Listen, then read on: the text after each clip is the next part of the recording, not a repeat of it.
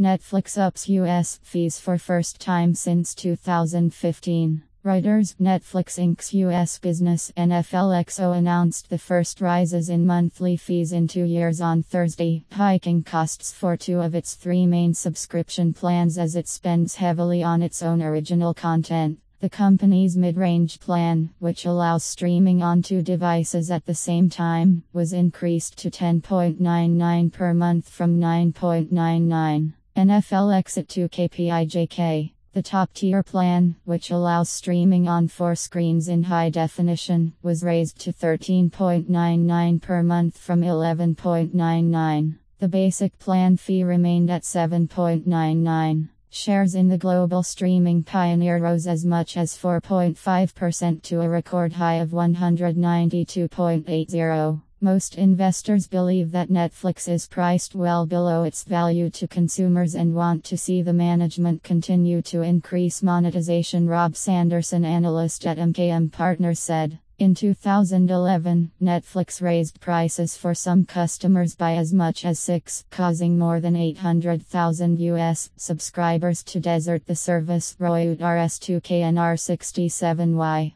A more gradual move in 2014 did not provoke the same outrage. Netflix is cheaper than many of its competitors despite the current price hike. HBO Now, the standalone streaming service of HBO that offers access to shows such as Game of Thrones and Veep, is priced at $14.99 a month, while Hulu prices its service without commercials at $11.99 per month. This price increase will likely be a revenue growth catalyst for the company. RBC Capital Markets analyst Mark Mahaney wrote in a client note. The content, not price, is the leading churn churn back factor amongst Netflix subs. The price hikes will only be in the United States and will start taking effect from mid November, depending on users' billing cycles. The higher pricing comes as the video streaming service spends heavily on original content and expanding outside the US. Netflix had earlier said it would spend over 6 billion this year on original shows and expected to have negative free cash flow of 2 billion to 2.5